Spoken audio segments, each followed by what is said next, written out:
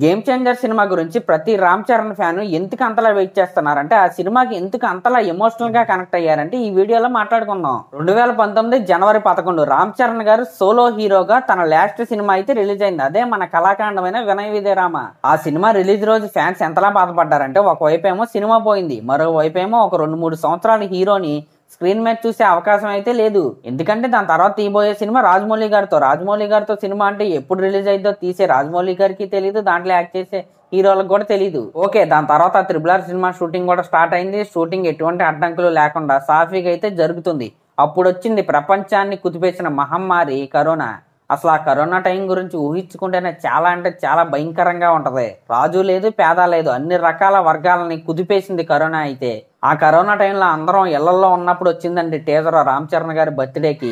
ఆ రామరాజు టీజర్ ఎప్పుడైతే వచ్చిందో ఆ టీజర్ చూసిన తర్వాత ప్రతి అభిమాని అయితే ఆనందంలో ఉప్పొంగిపోయారు. రాజమౌళి గారి సినిమా అంటే ఎప్పుడు వచ్చినా బ్లాక్ బాస్టర్ ఈ సినిమా గురించి ఎన్ని రోజులు వెయిట్ చేసినా తప్పు లేదనిపించింది ఆ టీజర్ చూశాక.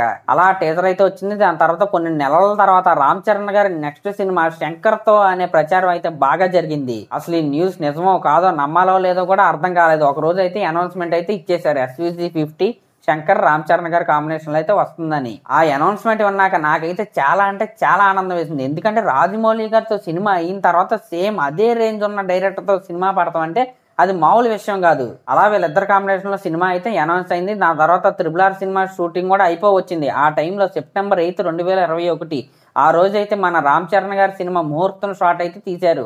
ఇప్పుడు ఈ సోదంతా మాకు ఎందుకు చెప్తున్నారో కూర్చోబెట్టాను అనుకోకుండా చెప్తాను వినండి. నేనేమనుకున్నానంటే అబ్బో triple R cinema shooting start అవ్వకముందే మా వాడైతే సినిమా స్టార్ట్ చేసేసాడు ఇది ఎంత త్వరగా వచ్చేద్దాం అనుకున్నా. దాని తర్వాత మన game changer cinema launching event అయిపోయిన తర్వాత దేశం మొత్తం త్రిబుల్ ఆర్ ప్రమోషన్స్లో అయితే మన హీరోలు ఇద్దరు కలిసి డైరెక్టర్తో పాటు తిరిగేశారు. అలా ఆ cinema two thousand twenty two జనవరి సెవెంత్ అనుకుంటా నాకైతే అంతగా గుర్తులేదు. ఆ రోజు అయితే రిలీజ్ చేస్తామని అయితే అనౌన్స్ చేశారు.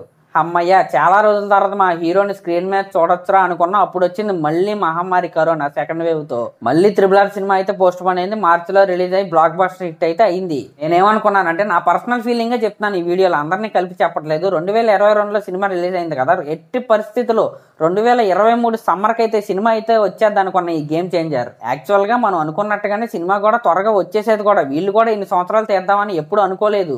అదే టైంలో మన డైరెక్టర్ శంకర్ గారికి అయితే పెద్ద ఎదురు దెబ్బ అయితే తగిలింది. అదేంటయ్యా అంటే కోర్టు ఏమని ఆర్డర్ ఇచ్చిందయ్యా అంటే first Indian two Indian two cinema release అయిన తర్వాతే గేమ్ చేంజర్ సినిమాని రిలీజ్ అవ్వాలని అయితే స్టే అయితే ఇచ్చింది. ఇంకా అప్పటి నుండి ఆయన పరిస్థితి చూడండి అది పదిహేను రోజులు ఇది పదిహేను రోజులు అది పదిహేను రోజులు ఇది పదిహేను రోజులు అలా అటు ఇటు అటు ఇటు తిరుగుతా అయితే ఆయన రెండు సినిమాలను అయితే పూర్తయితే చేశాడు. ఇక్కడ యాక్చువల్గా చాలామంది చాలా మంది ఏమనుకుంటారంటే కొన్ని రోజులు అటు కొన్ని రోజులు ఇటు వెళ్ళటం వల్ల ఇండియన్ టూ సినిమా దెబ్బైంది కదా ఇప్పుడు గేమ్ చేంజర్ సినిమా కూడా దెబ్బైంది కదా అనుకుంటారు. ఇక్కడ మీరు తెలుసుకోవాల్సిన విషయం ఏంటయ్యా అంటే ఇండియన్ టూ లో ఉన్న ప్రతి డైలాగ్ ప్రతి సీన్ ఎప్పుడు ఐదారు సంవత్సరాల క్రితం అయితే రాసుకున్నారు. అప్పుడు ఎలా అయితే రాసుకున్నారో సేమ్ దాన్నే ఇప్పుడైతే షూటింగ్ అయితే తీశారు. ఎటువంటి మార్పులు చేర్పులు లేకుండా. అందుకే ఆ సినిమా అంత అవుట్డేటెడ్గా అయితే ఉంటా కారణం అయితే అదే. కానీ మన గేమ్ చేంజర్ సినిమా అయితే అలా కాదు. లాక్డౌన్లో కార్తిక్ సుబ్బరాజ్ గారికి అయితే ఈ సినిమా స్టోరీ ఐడియా అయితే వచ్చింది. కానీ ఆ స్టోరీని ఆయన అయితే హ్యాండిల్ చేయలేడనే ఐడియా అయితే ఆయనకైతే కరెక్ట్గా ఉంది. కానీ దీన్ని ఎవరు హ్యాండిల్ చేయగలరని మణిరత్నం గారిని అడిగితే ఇది శంకర్ జోన్ సినిమా. కాబట్టి ఆయనకే కథ చెప్పమని కార్తీక్ సుబ్బరాజన్ గారిని అయితే పంపించారు. దాని తర్వాత శంకర్ గారు ఈ కథను వినటం ఇది ఖచ్చితంగా చేద్దాం అద్భుతమైన హిట్ అయిద్దని ఆయన స్టైల్లో ఈ కథను అయితే మార్చుకుని అయితే ఈ సినిమా అయితే చేస్తున్నాడు ఆయన. కాబట్టి ఏ రోజైనా ఏ పాయింట్ ఆఫ్ టైంలో అయినా శంకర్ గారు లాంటి డైరెక్టర్ని మనం అయితే తక్కువ అంచనా వేయకూడదు. కార్తిక్ సుబ్బరాజ్ గారు అంటేనే అద్భుతమైన స్టోరీలు రాయడానికి ఆయన ప్రసిద్ధి. కాబట్టి అద్భుతమైన స్టోరీ లైన్తో వస్తున్నాం కొడుతున్నాం శంకర్ గారి స్టైల్లో. కానీ ఇండియన్ టూ వాళ్ళ రామ్ చరణ్ గారి ఫ్యాన్స్కి అయితే మామూలు ఫ్రస్ట్రేషన్ కాదు. ఎందుకయ్యా అంటే దానివల్ల ఈ సినిమా లేట్ అవడమే కాకుండా గేమ్ చేంజర్ సినిమా అప్డేట్స్ కూడా రావడం అయితే ఆగిపోయాయి. శంకర్ గారి స్టైల్ ఎలా ఉంటుందంటే సినిమా మొత్తం ఎడిటింగ్ కూడా పూర్తయ్యే టయానికి అయితే అప్డేట్స్ ఇవ్వడం అయితే స్టార్ట్ చేస్తాడు ఆయన. ప్రతి సినిమాకే అంతే. కానీ మన తెలుగు ఆడియన్స్కి అయితే అలా కుదరదు. టైం టు టైం అప్డేట్స్ పడతా ఉండాలి. కానీ ఆయన ఏమో ఇండియన్ టూలో అయితే ఇరుక్కుపోయాడు. గేమ్ చేంజర్ విషయంలో అప్డేట్స్ రాక అసలు ఏం జరుగుతుందో తెలియక షూటింగ్ ఏమో తెస్తానే ఉంటున్నారు.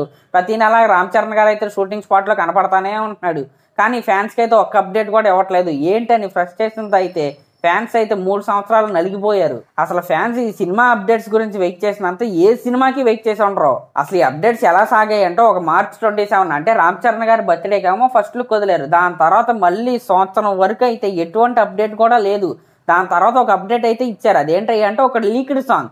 ఒక లీక్డ్ సాంగ్ లీక్ అయిపోయిన తర్వాత ఒక ఐదారు నెలల తర్వాత అయితే నెక్స్ట్ రామ్ చరణ్ గారి బర్త్డేకి అయితే వదలాలి కదా అని బలవంతంగా వదిలేరు తప్ప అది పెద్ద అప్డేట్ ఏం కాదు.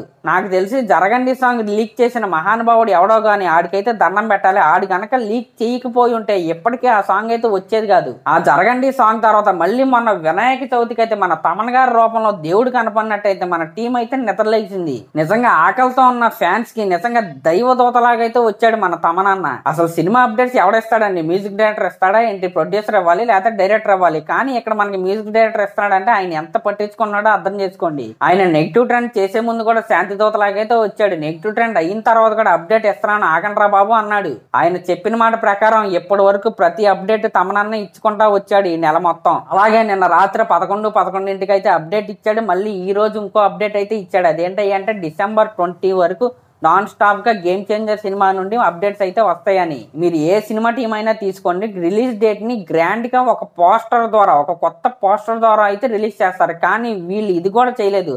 అది కూడా ఒక ట్విట్ రూపంలో అయితే వదిలేశాడు. అది కూడా మన తమన వల్లే వచ్చింది.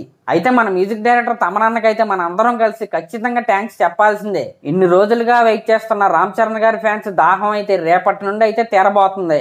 అసలు ఈ వీడియో ఎందుకు చేశానో నాకు తెలియదు కానీ నా రామ్ చరణ్ గారి ఫ్యాన్స్తో అయితే కాసేపు మాట్లాడాలనిపించి ఈ వీడియో అయితే చేశాను. కుదిరితే రేపు అప్డేట్ వచ్చిన తర్వాత లైవ్లో అయితే మాట్లాడుకుందాం. రేపు అప్డేట్ ఏ టైంకి వస్తుందో రేపు మార్నింగ్ కానీ రేపు ఆఫ్టర్నూన్ కానీ చెప్తారు. ఒక పోస్టర్ ద్వారా అయితే రిలీజ్ చేస్తారు. ఆ అప్డేట్ వచ్చాక నేనైతే వీడియో చేసి అయితే పెడతాను. ఇంకా లాస్ట్లో ఈ వీడియో కనుక మీకు నచ్చినట్టయితే సబ్స్క్రైబ్ చేసుకొని అలాగే ఒక కామెంట్ అయితే చేయండి. Thank you